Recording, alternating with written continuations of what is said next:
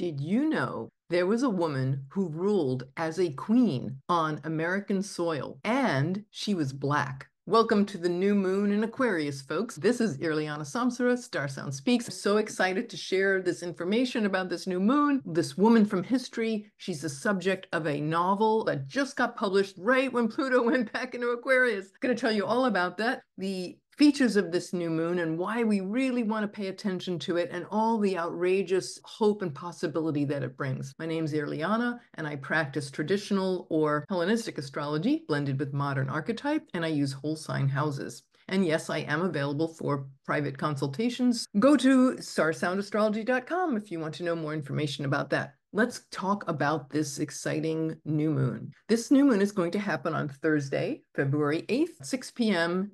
Eastern Standard Time. This moon is at 20 degrees. The sun and the moon are both lined up for a new moon. They are exactly at 20 degrees, 40 minutes of Aquarius. We'll talk about why this new moon goes beyond just this 30 day period. What are the unique features of this? What story is it telling?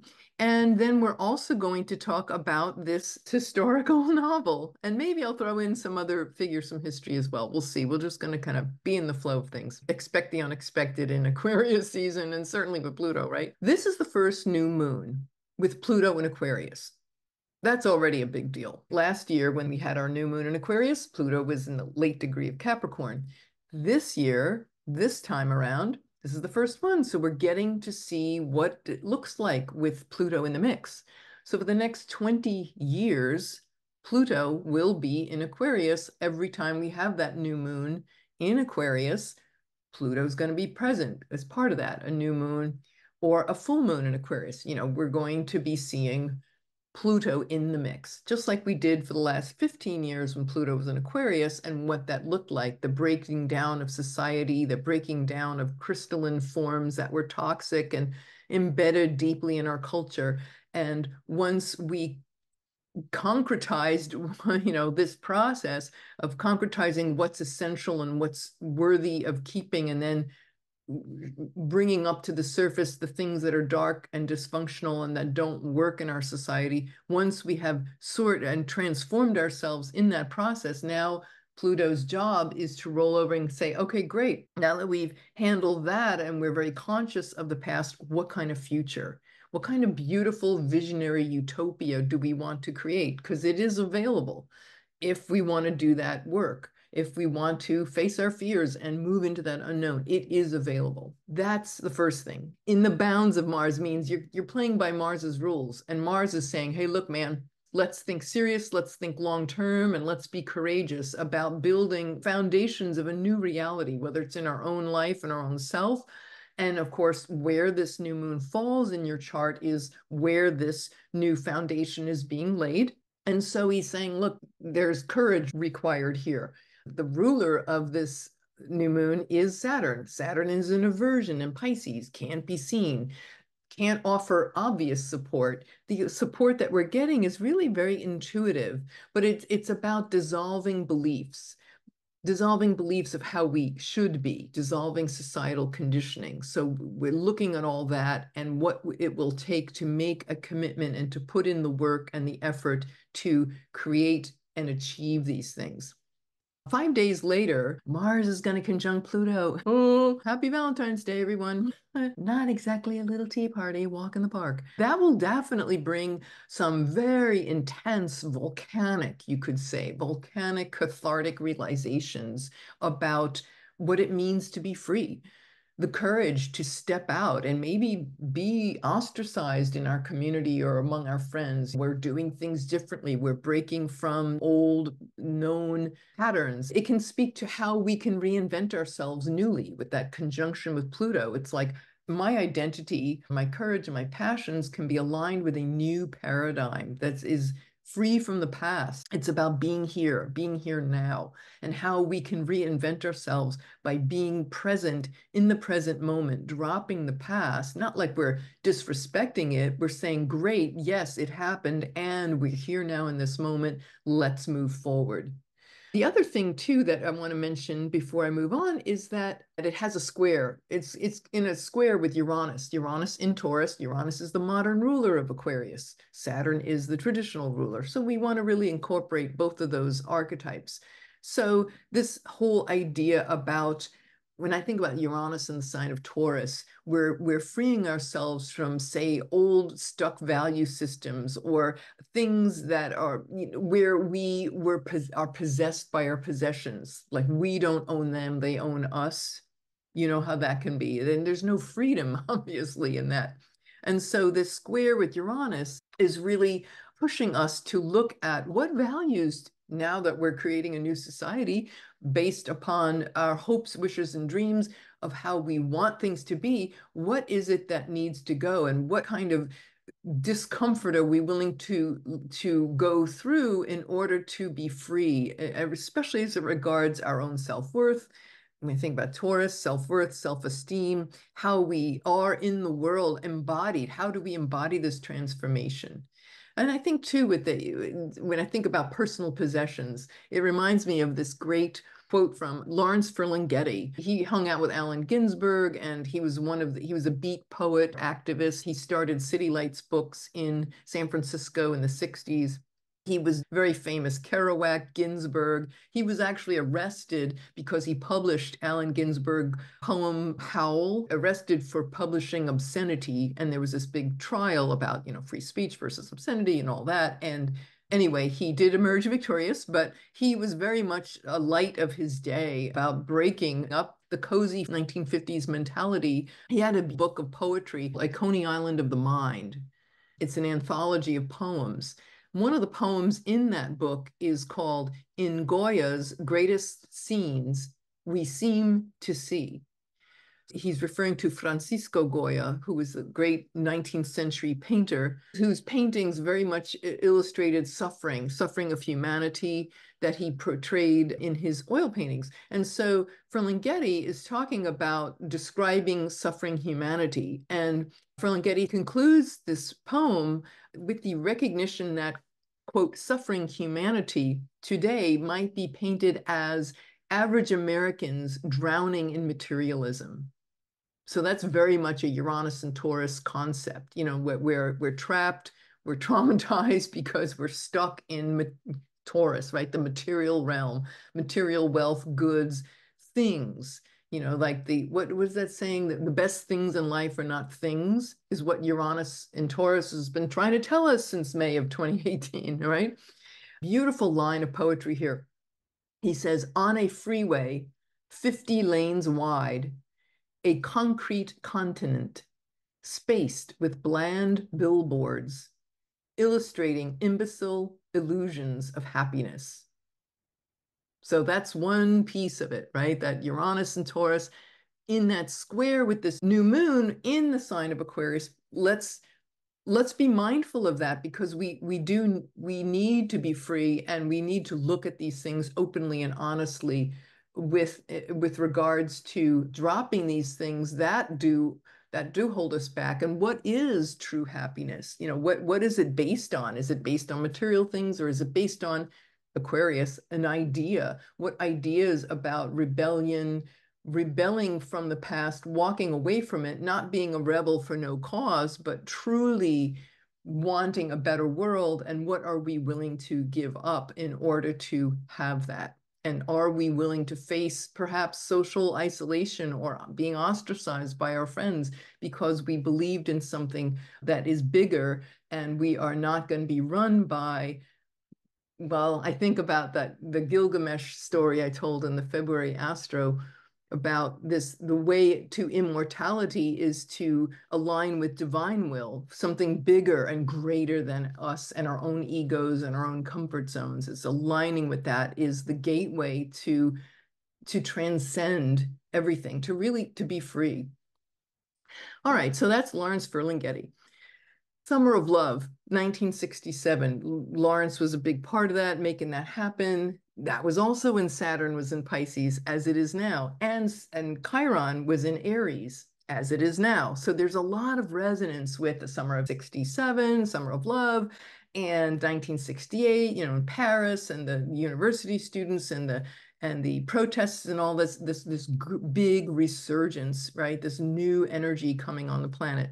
I also think about George Harrison and Ram Dass. Ram Dass wrote Be Here Now, and that was published when Chiron was in Aries, counterculture Bible of the 60s, really. It opened up for most Westerners, you know, yoga, meditation, because he he was Richard Alpert, the Harvard professor that dropped acid with Timothy Leary and went on a spiritual quest to India and met his guru, Neem Karoli Baba, and opened up this whole world to the West, you know, to the masses of yoga, pranayama, meditation to to be here now, right? To to become, you know, enlightened.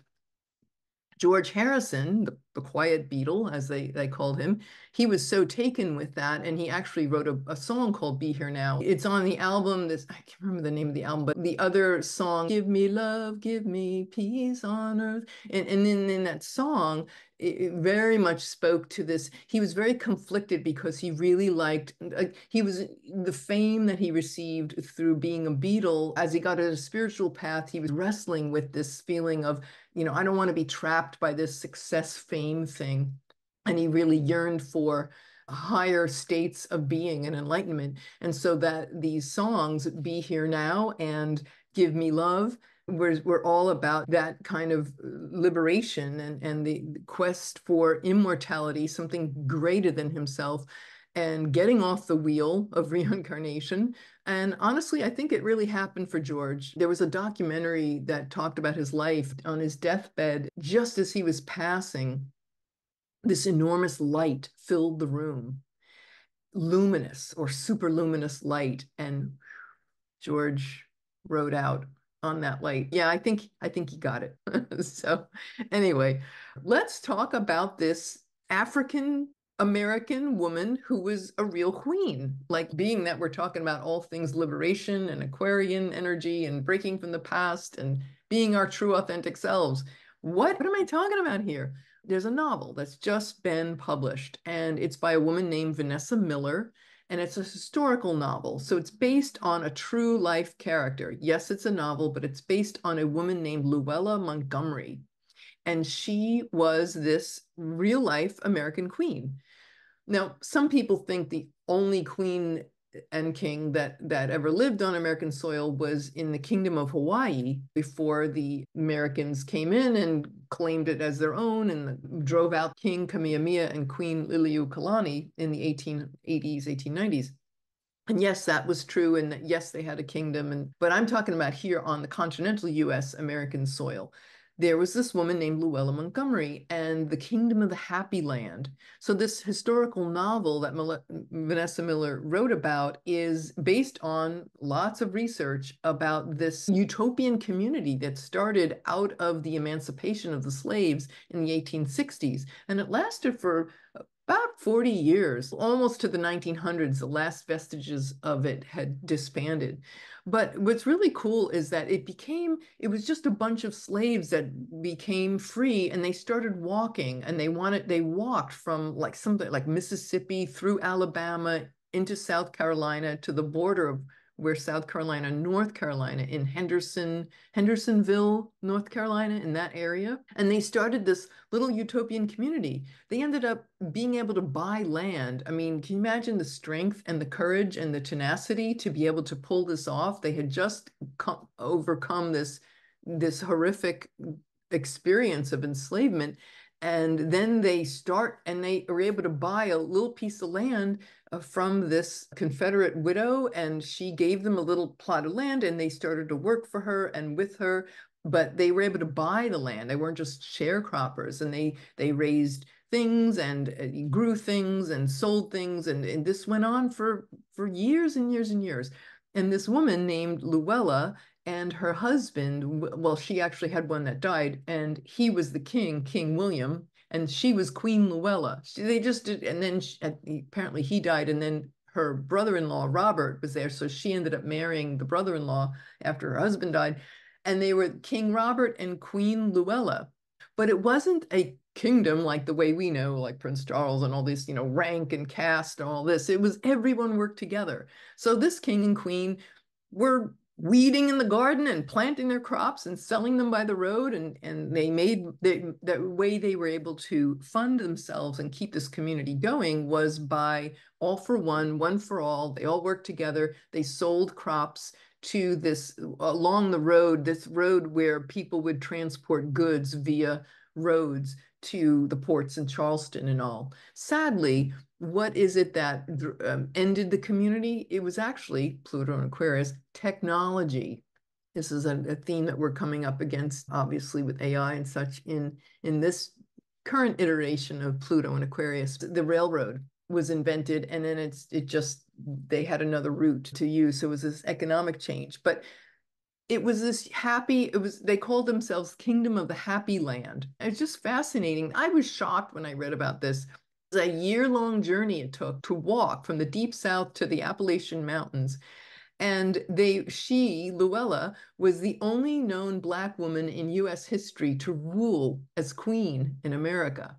I just thought that was so cool. And she, it was again, it was, but it was the most egalitarian kingdom that you can imagine. Every, it was really a commune. Everyone worked together. The novel speaks to this ability to to forgive, forgiveness. So it's not just you were enslaved and now you're a free person, but then there's all the tragedy and the trauma that's bound up with that horrific chapter of your life and of US history. And it's about being willing to forgive and, and let go of the past. And so this enabled them to um, purchase land and build an all for one, one for all community.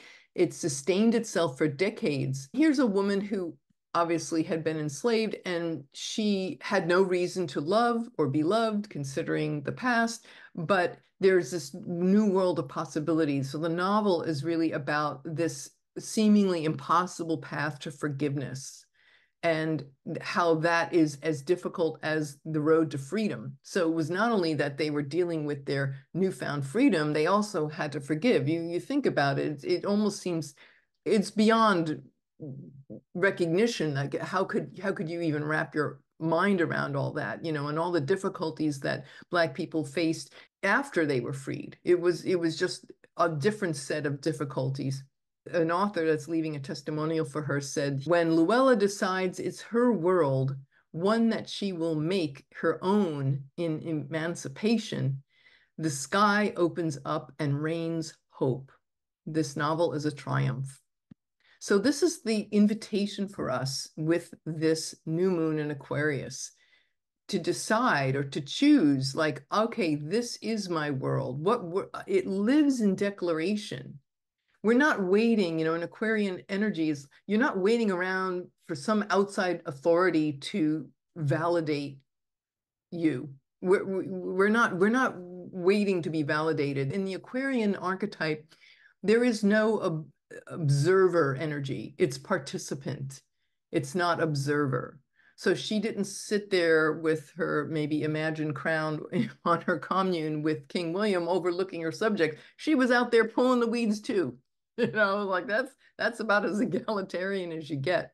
I'm just really fascinated by that this actually really happened. And it gives me such hope because this is the utopia the utopian communities, many of them have existed. If you study American history, there have been many utopian communities, very deep, you know, with Sag Rising in the USA chart, we have a very deeply religious fabric of our country. You know, first it was Christian and Puritans that came over, and then of course the, the plurality of many different faiths over the decades and centuries of bringing new avenues of expression. But we've always had that, and especially in the 19th century, there was a great spiritualist uh, movement when Pluto and Neptune started in, in sextiling.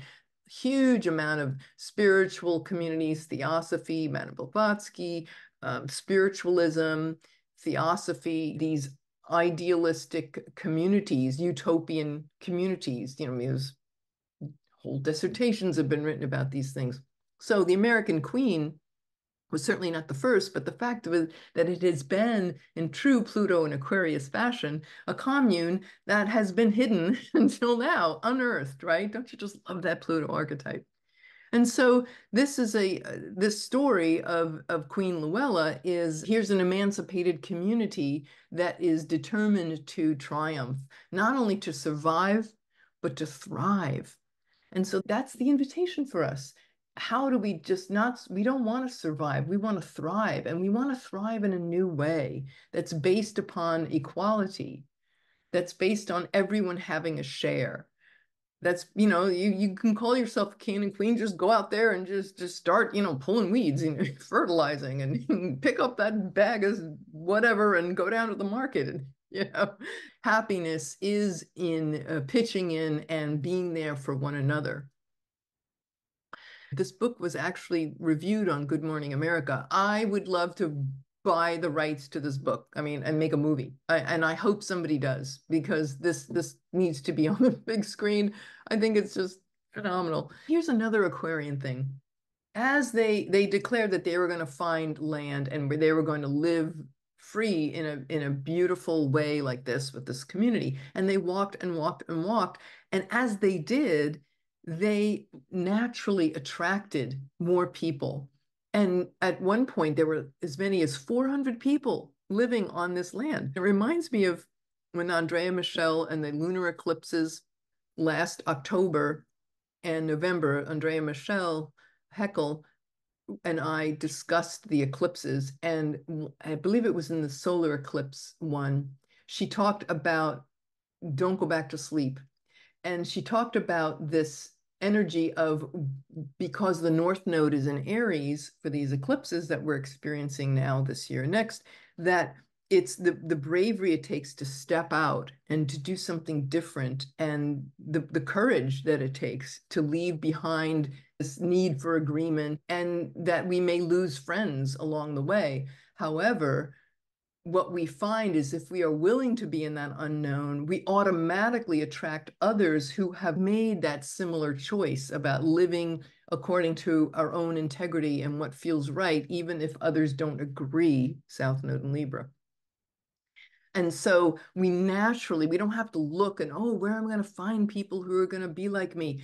Just your declaration to the universe to say, this is it, I'm leaving, I, I need to do this, not in anger, not in anger, just being choosing, right? Not not not killing off possibility, but just simply choosing and moving forward in that way. And what that means is that naturally the universe will bring us like-minded people who are on that same path. So we all kind of just find each other. And that's what happened here with with Luella how they just naturally found more people that were willing to do this. And there were no squabbles, from what I understand. I've read several articles about this book and this the history of this, the Happy Land.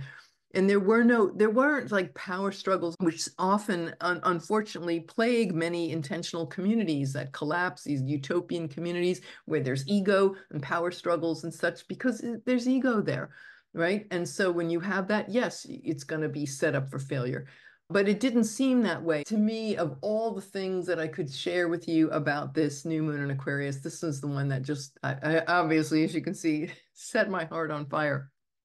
Because i know and deep in my heart i know that we can live like this.